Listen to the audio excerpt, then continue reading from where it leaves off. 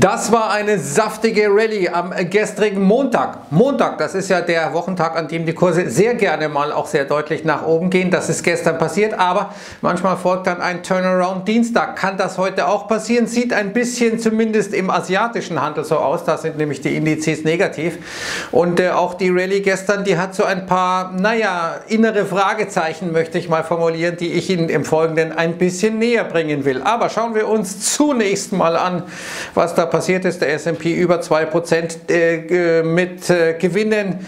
Der beste Monat äh, oder der beste Start in einen März seit dem Jahr 2020, also seit letztem Jahr ähm, am ersten Handelstag 2020 äh, im März äh, sind wir 4,6% im S&P 500 gestiegen. Dennoch bis äh, Mitte März, respektive 19. und 23. März letzten Jahres ging es überwiegend massiv nach unten. Jedenfalls sehen wir, dass gestern sowohl die Finanzwerte als auch die Tech-Werte über 3% gestiegen sind. Das ist zuletzt im April 2020 passiert. Also immer wieder diese Referenz auf das letzte letzte Jahr. Es ging ziemlich wild zur Sache, fast alle Sektoren sehr, sehr deutlich im Plus, vor allem Information Technology, aber auch in die Industriewerte, Finanzwerte, Energie mal wieder, Materials noch am schlechtesten, vor allem äh, Real Estate, also Immobilienwerte, defensive Werte tendenziell nicht so gut. Aber schauen wir uns mal den S&P 500 an. Da sehen wir hier, das ist ein Chart von Michael Silver, Figuring Out Money, sehen wir hier große Kerzen. Erst eine große rote Kerze, dann so eine Umkehrkerze und jetzt eine etwas größere grüne Kerze. Aber wir haben jetzt es zumindest beim S&P 500, dem Leitindex, geschafft, im Aufwärtstrend zu bleiben. Aber wir sehen, äh, wenn Sie da mal äh, den unteren Bereich der oberen Grafik sich anschauen, sehr dünnes Volumen. Da ist also nicht viel passiert. Der Abverkauf respektive die Kursschwäche in der letzten Woche unter deutlich größeren Volumina hier passiert und vor allem, wenn Sie die untere Grafik sich mal zu Gemüte führen, sehen wir, der Breath war sehr, sehr schlecht, die Marktbreite war schlecht. Es waren die wenigen Werte, die wieder die Gesamtmärkte so deutlich ins Plus gehievt haben und es sind vor allem in äh, die Feng-Aktien zuletzt ja auch Gelder geflossen und die waren es, die gestern auch sehr äh, gute performt hatten. Also wir haben eine sehr, sehr schwache Marktbreite angesichts einer solchen Rallye. Das ist normale normalerweise nicht ein Indiz dafür, dass die Dinge so wirklich stabil sind. Wir sehen auch auf der anderen Seite hier diese 3900er Marke im S&P 500. Gestern sind wir von unten kommend genau an die rangelaufen, ein bisschen überwunden, aber letztendlich pendeln wir die ganze Zeit um diese 3900er Marke, die so eine Anziehungskraft hat, auch vielleicht für den Optionsbereich. Bald ist ja dann auch wieder Verfall. Da könnte diese Marke eine große, große Rolle spielen. Also es ist ein bisschen choppy, wie man im Englischen sagt. Und das gilt auch für den Dow Jones, noch den stärksten der Indizes in den USA. Aber auch hier sehen wir, da sind wir in einer bestimmten Range. Da sind wir gestern mit einem Gap aus dieser Range, oder wir waren aus dieser Range nach unten ausgebrochen, sind mit einem Gap wieder reingekommen und jetzt erstmal an dieser oberen Begrenzung äh, dieser Range äh, haben wir uns den Kopf angestoßen. Am schlechtesten, ganz klar, sieht der Nasdaq nach wie vor aus. Wir sind aus diesem Aufwärtstrend rausgefallen. Und äh, dann jetzt diese grüne Kerze, aber sehr, sehr schwaches Volumen. Sie sehen es hier unten in der Grafik, also wenig Conviction, wenig Überzeugung, muss man sagen.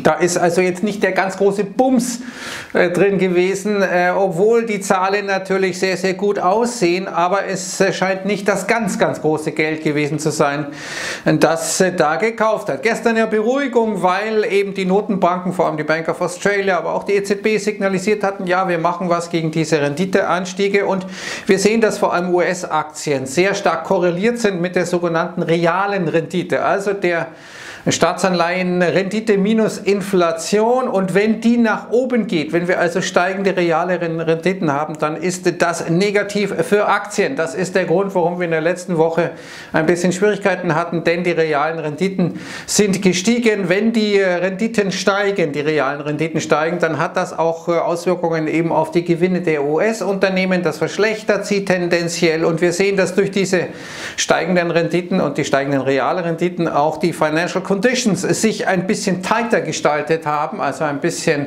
weniger lax. Wir sehen, dass äh, zum Beispiel äh, die Mortgage Rates, also die Hypothekenzinsen nach oben gegangen sind, etc.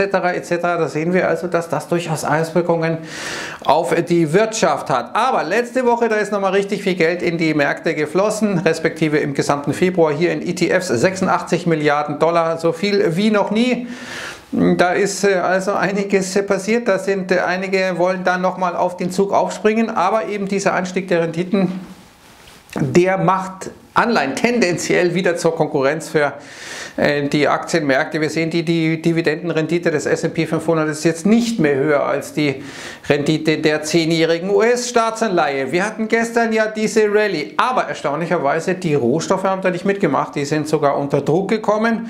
Äh, die sind äh, gestern noch mit einem negativen Ergebnis aus der ganzen Geschichte rausgegangen. Erstaunlich, denn normalerweise ist ja dieser Reflationstrade bullisch für die Rohstoffe. Wir sehen, dass gleichwohl die Inflationserwartungen weiter steigen. Hier die 5-Year-5-Year Break-Even Rates, also die ähm, erwartete Inflation in fünf Jahren 2,43 Prozent. Da gab es also keinen Rücksetzer und wir sehen insgesamt die Daten gestern, vor allem aus dem ISM-Index, die haben ja eigentlich diesen Sorgen vor steigender Inflation, damit steigender äh, Notwendigkeit für die Notenbanken vielleicht den Fuß äh, vom Gaspedal zu nehmen, vielleicht sogar auf die Bremse zu treten, nicht gerade entkräftigt. Hier sehen wir ISM Manufacturing, die Prices and Delivery Times, die Preise 86.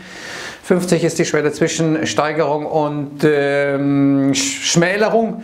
86 äh, ein extrem hoher Wert, so viel wie seit 2004 nicht mehr. Auch die Delivery Times, also die Lieferzeiten sind deutlich nach oben gegangen. Things are now out of control, everything is a mess and we are seeing uh, wide-scale shortages. Alles gerät außer Kontrolle, wir haben Mangel an allem, wir bekommen bestimmte Produkte nicht, bestimmte Rohstoffe nicht, so äh, die Äußerungen vieler, die sich da geäußert haben im ISM-Index und wenn wir uns den nochmal anschauen, hier die Prices Paid und das vergleichen mit der CPI, also mit der Verbraucherpreisinflation in den USA, da sehen wir, das ist meistens ein Vorläufer dessen. Das heißt, wir können erwarten, äh, dass äh, die US-Verbraucherpreise demnächst nochmal massiv nach oben gehen. Und hier nochmal ein paar Aussagen dieser ISM-Befragten, also von seinem Einkaufsmanager-Index. Alles ist äh, out of control, hat der eine schon gesagt. Der andere sagt, ja, unsere Lieferketten sind leer. Wir haben extrem lange Lieferzeiten. Andere sagen aus dem Stahlsektor, die Stahlpreise massiv gestiegen. Äh, andere sagen aus Food, Beverage und Tobacco Products, äh, wir sind äh, nur unter großen Schwierigkeiten in der Lage, überhaupt die Produktion aufrechtzuerhalten, weil uns teilweise Teile fehlen. Ähm, andere sagen, wir sind dabei, hier mit diesen steigenden Kosten im Schiffbereich, im Transportbereich zu kämpfen. Andere sagen, Prices are so rising so rapidly that many are wondering if the situation is sustainable. Die Preise steigen so schnell, dass manche sich fragen, wie kann das weitergehen? Kann das so weitergehen? Also da ist bei denjenigen, die direkt an der Quelle sitzen, ist schon eine gewisse Sorge erkennbar, auch im Transportsektor, eben gerade was die Containerschifffahrt äh, betrifft. Und da haben sich die Preise ja mehr als äh, vervierfacht im letzten Jahr für Containerverschiffungen von China in die USA. Empty containers cannot get uh, back to Hong Kong, also man kriegt die leeren Container nicht äh, weg. Und wir sehen hier zum Beispiel vor dem Hafen von Los Angeles, da sind äh, mehr als 30 Schiffe, die warten auf äh, ihre Abfertigung, weil eben auch die Häfen teilweise aufgrund von Corona nicht hinterherkommen, nicht so auf voll, vollen Touren laufen können. Also das ist durchaus ein Thema, was uns jetzt noch beschäftigen wird. Und da sagen manche, naja, das ist überraschend, dass die äh, Policymakers, also die FED-Mitglieder, die Notenbanker insgesamt, äh, glauben, sie äh, könnten das mit ihren Modellen alles schon beherrschen. Äh, und das ist gefährlich. Also möglicherweise unterliegen die Notenbanken hier einer Illusion, einer Kontrolle für eine Geschichte, die sie nicht kontrollieren können. Das ist so ein bisschen die Sorge am Markt. Die Nervosität am Markt war ja auch, weil sich der Markt gesagt hat, die Wirtschaft, die läuft heiß. Die EZB äh, respektive die Fed muss dann äh, vor allem ihr Quantitative Easing zurückfahren. Äh, also man wettet ein Stück weit darauf, dass äh, die Märkte wieder jetzt äh, in der Lage sind, die FED an die Hand zu nehmen und zu sagen, nee, hier geht's lang. Die FED ist ja meistens so ein bisschen blind, muss man sagen. Wir erhöhen die Zinsen. Der Markt sagte, nein, ihr werdet die Zinsen nicht erhöhen. Der Markt hatte recht. Meistens hat der Markt recht. Und jetzt ist der Markt sozusagen wieder dabei, gegen die FED zu wetten. Und deswegen glaube ich, dass wir einen weiteren Anstieg perspektivisch der Renditen für Staatsanleihen sehen werden. Eben, und das könnte dann eben auch wieder die Aktienmärkte, vor allem die Tech-Werte, belasten. Schauen wir uns heute die Daten mal an äh, zur Inflation aus der Eurozone für den Februar. Wir hatten gestern schon hier Daten aus Deutschland 1,3 Prozent im Februar gestiegen. Also da geht die Inflation wieder deutlich nach oben. Heute kommen die Verbraucherpreise um 11 Uhr bei finanzmarktwelt.de by the way aus der Eurozone plus 0,9 auch heute erwartet, nachdem es im Januar schon 0,9 nach oben gegangen ist. Aber da ist eine Überraschung nach oben möglich. Und abschließend, ich hatte vorhin gesagt, dass die chinesischen Aktienmärkte äh, respektive die asiatischen Aktienmärkte unter Druck sind. Und das hängt auch damit zusammen, äh, dass ähm, GUO, der Financial Market Regulator, also praktisch von der Finanzaufsicht äh, in China gesagt hat, ja, wir sehen einige Blasen bei uns am Immobilienmarkt ähm, und äh, da müssen wir aufpassen. Wir müssen mal ein bisschen äh, die Leverage äh, reduzieren, also die Hebelung. Mit anderen Worten, er sagt hier, wir müssen ein bisschen Geld aus dem System nehmen, damit das nicht zu heiß läuft. Das heißt, hier wird Liquidität entzogen tendenziell und wir sehen, dass der chinesische Kreditimpuls zuletzt ohnehin schon rückläufig war und Prognosen gehen davon aus, dass er weiter rückläufig sein wird.